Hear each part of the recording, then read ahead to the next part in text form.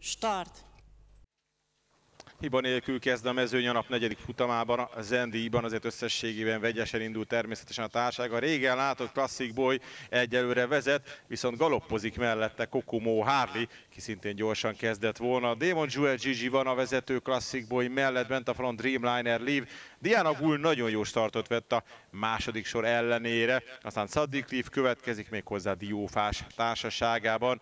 Dulce Tobozó, illetve Primás a lovak további sorrendje. Classic Boy diktálja a tempót Gorán Zolnaival, nagyjából egy hossz lehet, de most már talán csak fél az előnye eh, Demon Jewel Gigi-vel szemben. Összességében eh, nagyjából együtt a mezőn leszámítva persze a galoppozó Kokomo Harlit. Démonnak, illetve Samuelnek van párhoz hátránya. Egy körrel végelőtt sincs változás. Classic Boy, Demon Jewel Gigi, Dreamliner, Liv és Diana Gull az első négy.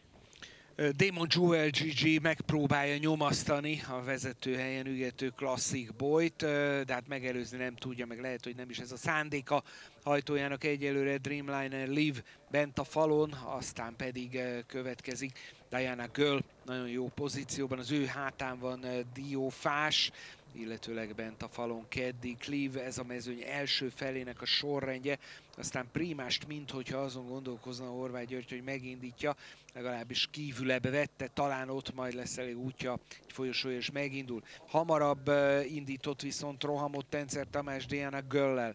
Diana Göll átveszi a vezetést, de még bejebb menni nem tud, miközben ott láthattunk pályaelhagyásokat is szépen folyamatában. Aki átveszi most a vezetést, az Diana Göll, Diana Göll vezetni tud, mögötte pedig ott van Damon Jovel GG.